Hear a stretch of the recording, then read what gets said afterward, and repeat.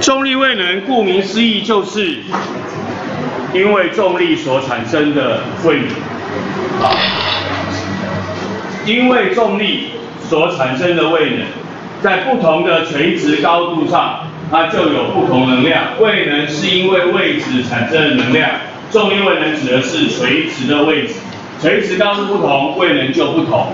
它会跟质量有关，以及垂直高度差有关。我讲的是高度差，等一下会告诉你为什么。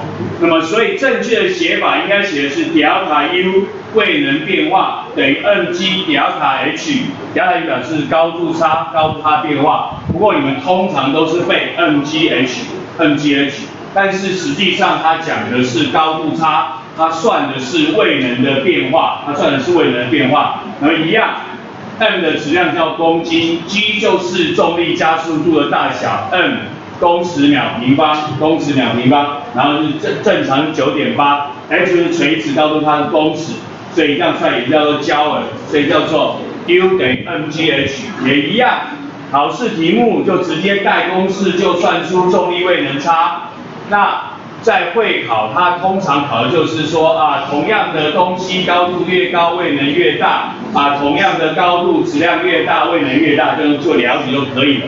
那么 U 等于 mgh 高度差，那为什么我会讲一个叫做高度差这东西呢？因为位能没有绝对的零，位能没有绝对的零，啊，零是随便取的。我现在站在二楼。然后我现在离地板两公尺，你去算位能 mgh 两公尺，那是这个地板，我以这个地板当做是零，可是对一楼而言，这个不是零啊，对一楼这不是零啊，我换到了一楼做实验，变一楼地板是零，那高度两公尺，所以它没有绝对的零，零是我随便取的，因此我刚刚讲说，我算的是位能差，位能差。啊，我以地板为零，那差多少？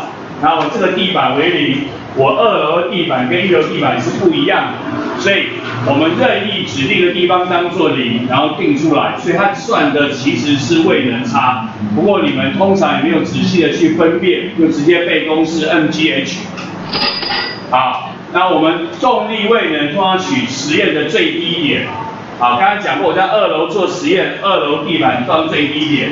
你在做单摆实验的时候，单摆摆下来那个点叫最低点，那那边当做我的位能是零，位能是零，帮取最低点当做位能零，然后去做一些计算。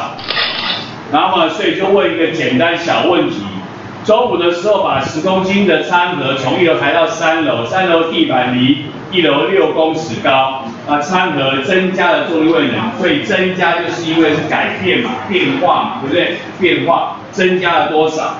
啊，所以一样，U 等于 mgh，正确写是 delta U 等于 mg delta h，改变了，增加了。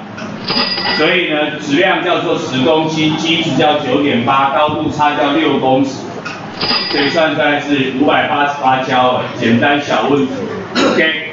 同理，请问你五公斤抬高两公尺，增加重力位能多少？一样。直接带公式就好，直接带公司就可以了，没有什么特别啊，就直接带就够了。来，可爱小女生，小女生叫做 Number Five，霹雳五号，霹雳五号，霹雳五号，你又在发呆了，你又要站起来跟我说你不会了，你直接带公司也不会吗？MGH 两个几个乘完你也不会啊？